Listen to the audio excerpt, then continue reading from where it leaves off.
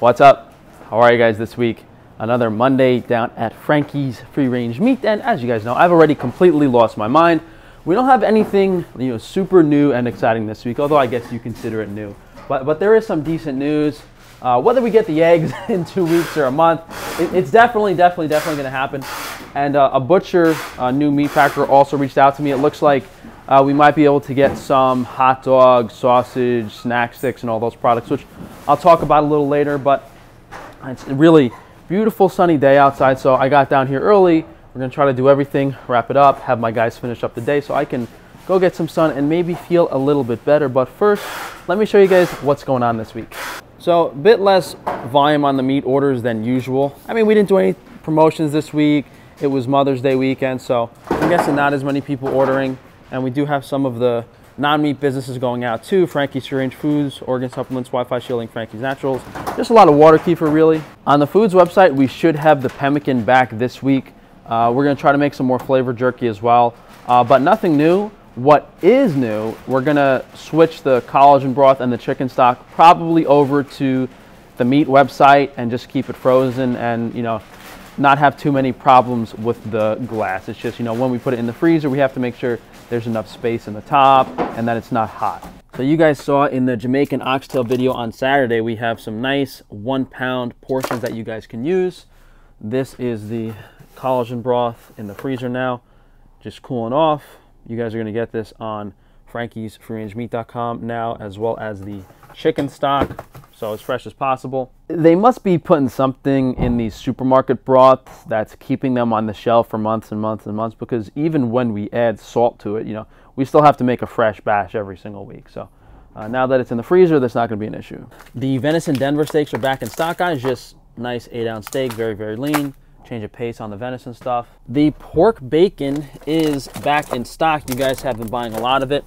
We did run out of the boar bacon, but we should be getting some of the boar back in this week. So you guys know we have the goat testicles available in one pound packages, but I did something a little new. We have individually wrapped testicles. I know a lot of you guys use these for testosterone, so I figured some of you might want the convenience of being able to buy just one, you know, thaw it out, have it for the week, and not have to, you know, separate it and and eat so many of them. So this is obviously going to be uh, more expensive per pound because there's a lot of labor involved and material costs in doing this.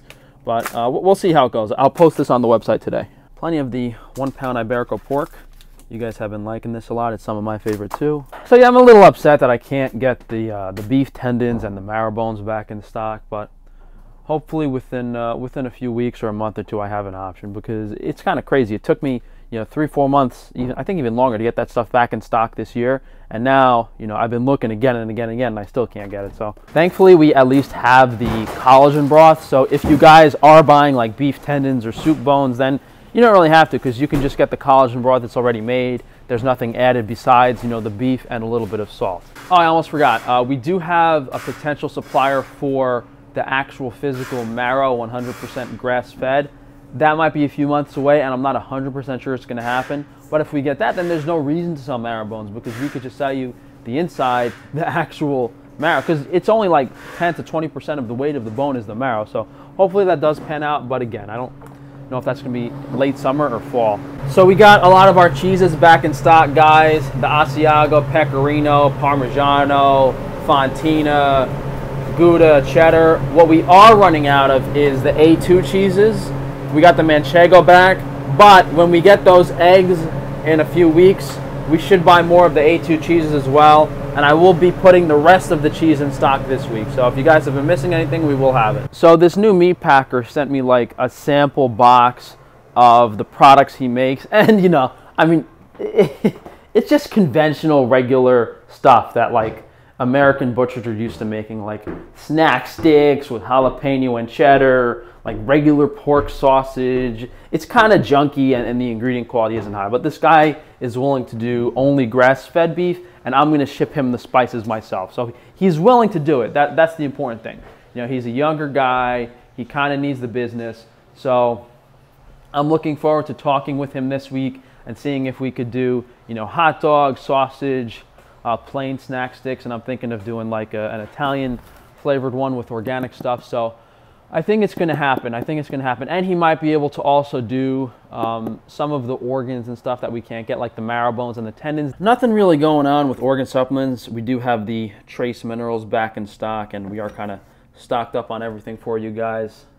Yeah, I've been saying for the past few weeks, I've been trying to reach out to the uh, freeze dried beef suppliers, and none of them are getting back to me. So uh, who, who knows what's going on there. Wi Fi shielding, guys, we have plenty of the, the black shirts and joggers in stock. We did run out of most of the t-shirt sizes. I'm going to try to get some more fabric in and maybe we'll also get some uh, more bed canopies and even some EMF curtains. I did check on the lead powder because I was hoping to have it by now, but I paid them five months ago and they said they just shipped it now. So I don't know if I got scammed or, or not.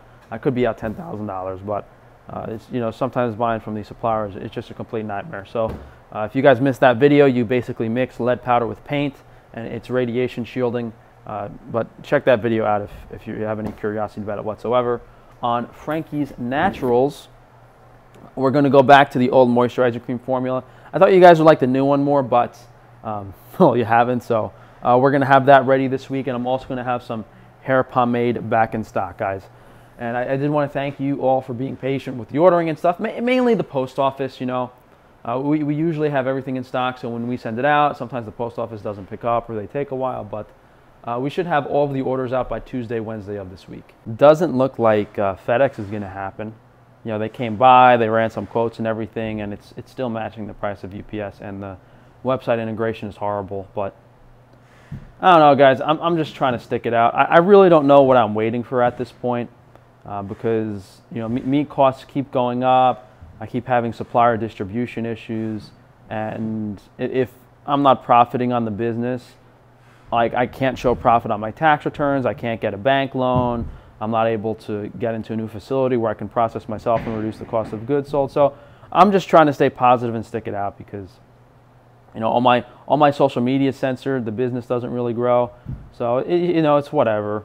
You know the way I look at it is I had that dirtbag stealing money from me for two years. He kind of ruined everything. And now it's actually been, I mean, almost a year and a half now since I got rid of him.